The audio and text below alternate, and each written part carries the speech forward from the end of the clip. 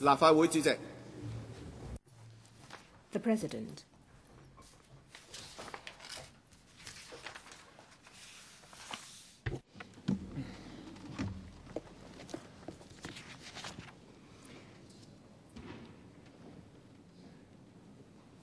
發言 Address. The Chief Secretary for Administration will address the Council on the Government Minute in response to the res- report of the Public Accounts Committee number 61. The Chief Secretary for Administration. President. Laid on the table today is the Government Minute, GM, responding to report number 61 of the Public Accounts Committee, PAC. When presenting report number 61 on the 12th of February to the Legislative Council, the chairman of the PAC gave comments on three chapters in the Director of Audit's reports. A. Direct, grant, direct land grants to private sports clubs at nil or nominal premium. B. Management of roadside skips. And C. Allocation and utilization of public rental housing flats. We're grateful for the time and efforts that the PAC has devoted to investigating these subjects. We accept the committee's various recommendations and have set out in detail the specific responses of the relevant bureaus, departments in the GM. Today, I'd like to highlight the key measures that we have taken in these important policy areas and the progress. On direct land grants to private sports clubs at nil or nominal premium, the administration started the Private Recreational Lease PRL policy review in September 2013 will take into account the recommendations of Audit Commission and the PAC during the review. The Home Affairs Bureau (HAB) will lead the will take the lead in conducting the PRL policy review from a sports policy perspective and will involve other concerned policy bureaus and departments as necessary. In this regard, the Development Bureau and the Planning Department will provide input on land use and planning, and the Lands Department, LandsD, will provide input on land administration matters. In reviewing the PRL policy, we'll take into account factors such as sports development needs, land use, site and facilities utilization, the interests of the lessees and the members, and the wider public interest. In the course of the review, we'll also consider how to ensure an appropriate apportionment of sports and non-sports facilities on PRL sites. We expect that preliminary findings of the review will be available by the end of 2014. The HAB has asked all lessees to open up their sports facilities more extensively. Apart from providing non-members with a much higher degree of access to their facilities, lessees are also required to operate junior membership schemes to allow talented young athletes to join the clubs as members at greatly reduced levels of subscription fee. The approved opening up scheme forms part of the conditions of grant when a PRL is renewed. HAB has increased publicity on the availability of sports facilities of lessees for use by outside bodies by various means, including advertising in print media, requiring the lessees to provide full information on the opening up schemes on their websites, disseminating relevant information through competent authorities, district officers, and the Sports Federation and Olympic Committee of Hong Kong, Hong Kong, China, and uploading the information onto HAB's website.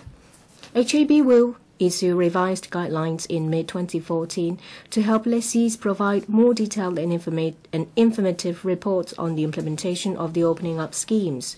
HAB works closely with the LandsD and other government departments to ensure that PRL sites are used in accordance with their conditions of grant. HAB will monitor the utilization rates of sports facilities on PRL sites, in particular with regard to the requirement to give greater access to outside bodies in accordance with the approved new opening up schemes. Using the quarterly returns as a monitoring tool, the HAB follows up with lessees in cases of low utilization and conducts random checks on the accuracy of the reported information. The administration will work on further strengthening the monitoring mechanism and providing and improving lease conditions. As part of the comprehensive policy review on PRL, HAB and the LandsD will clarify their respective responsibilities with regard to inspections on PRL sites and will formally plans for routine inspections accordingly. In addition to conducting site inspections in the context of processing lease renewals, the Lands will inspect sites where lease renewal is not yet due. The LandsD will, in consultation with HAB and other relevant BDs, continue to follow up on individual cases of irregularity and suspected non-compliance with lease conditions as identified in the audit report and take lease enforcement action as appropriate. On management of roadside skips, a joint working group led by the Environment Bureau and Environmental Protection Department EPD has been set up partic- with participation of eight relevant BDs. The joint working group is collating data to determine the magnitude of the problem. In the light of the data collected, the working group will consider and recommend the appropriate measures to better regulate and facilitate the operation of uh, roadside skips for discussion with stakeholders. The administration will report to the relevant panel of this council as soon as the working group completes its study later this year. We'll also keep the PAC informed of the progress. Meanwhile, the Transport Department and EPD are stepping up promotions among the skip operators to enhance their understanding and adoption of the guidelines and good practices on skip operations. On allocation and utilization of public rental housing flats, the government is firmly committed to providing public housing rental housing PRH to low-income families who cannot afford private rental accommodation and will endeavor to maintain the average waiting time target of around three years for general applicants on the waiting list. Under the established methodology, waiting time refers to the time taken between registration on the waiting list and receipt of the first flat offer, excluding any proven frozen period during the application period.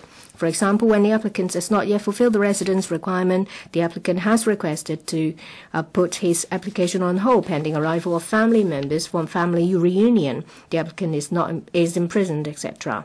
The average waiting time for general applicant refers to the average of the waiting time of general applicants housed to PRH in the past 12 months. Currently, applicants will be given three housing offers to allow them a reasonable range of choices as far as practicable. We've repeatedly highlighted the definition of uh, average waiting time and the basis of its calculation at various public occasions, including meetings of the LegCo and the press. We agree with the recommendations of the audit and the PAC and will enhance publicity. We have uploaded the definition and computation method of the waiting time onto the Housing Authority and Housing Department website on the 29th of January this year. We've also taken action to incorporate the definition and computation method for the average waiting time for applicants into the brochure on waiting list for public rental housing information for applicants and the application form, together with clearer advice to applicants on the channels for obtaining the declaration forms of PRH applications and the proper use of forms as recommended by the audit. We conducted a detailed analysis of the housing situation of waiting list applicants in 2011, 12, and 13 respectively to study among other things these general application cases on the waiting list with longer waiting time. The reports of the analysis have been uploaded onto the HA and HD website for public reference. We'll continue with this analysis on an annual basis. We consider that priority should continue to be given to general applicants, that is family and the elderly applicants over non-elderly one-person applicants. However, we fully understand that there have been calls from the community for the quotas and points system QPS, which is implemented to rationalize and reprioritize reprioritize the allocation of PRH to non-elderly 1P application applicants to be refined as to reduce waiting time for older one-person applicants. In the long-term housing strategy consultation document published by the Steering Committee on Long-Term Housing Strategy, the LTHS Steering Committee has also put forward recommendations on the QPS, including allocating more points to those who are above the age of 45 and developing a mechanism to regularly review the income and asset of QPS applicants.